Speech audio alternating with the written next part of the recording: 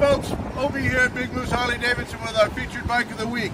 2017 Street Glide Special in Velocity Red.